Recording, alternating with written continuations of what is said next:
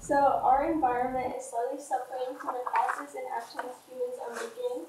So I asked, what can we do as humans to decrease the damages caused to our global environment? So you probably know that humans are the main problems to contribute to the situation. So the main damages done onto our Earth are these four. For example, climate, climate change can be very harmful to the human body.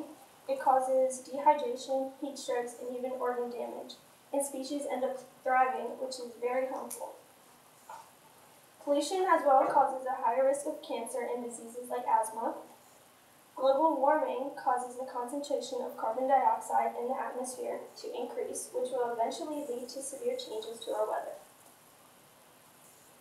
Degradation will destruct ecosystems and habitats. There will also be extinction of wildlife and eventually cause pollution. Many actions can be taken to benefit our environment, like socially. From the article, 10 Things You Can Do to Help Save Our Planet, speaking up is one of the most powerful things you can do, especially if it's to the right people. If you care about our planet, you can spread the word on Facebook, Instagram, or any social media apps. If what you have to say and your ideas catches the eye to a certain person, serious can- changes can be made.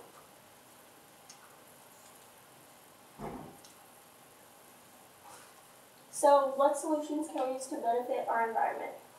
Solutions that can possibly make a positive impact is walking, biking, or public transportation, which can reduce greenhouse gases.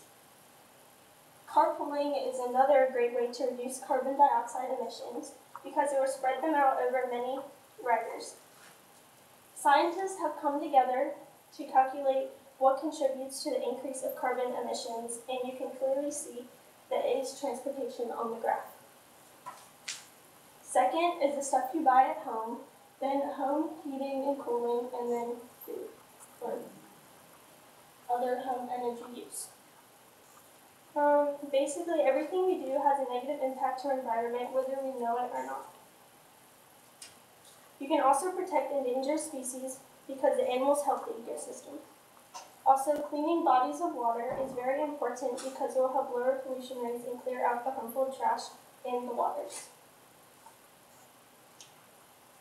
Future impact. For the future, by doing the actions listed in the presentation, our environment will definitely change in a positive way. With my life energy side. Okay. Also short. Just Hold on. So you have a couple of questions. Um, so the first question is, um, how did you select the strategies you used to gather information or conduct research, and then were they effective?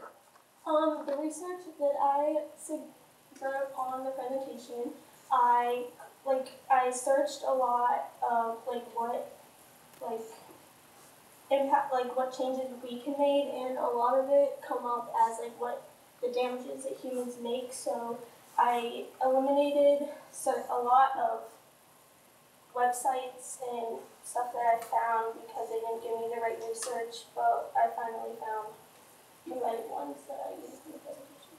Okay. Um, and then, what advice would you have for other researchers who consider this topic? Um, the advice I give to other researchers is that, like, is to actually, like, the researchers go into depth and actually change, like, give examples and actually have an impact by coming together and changing what happens to our environment positively.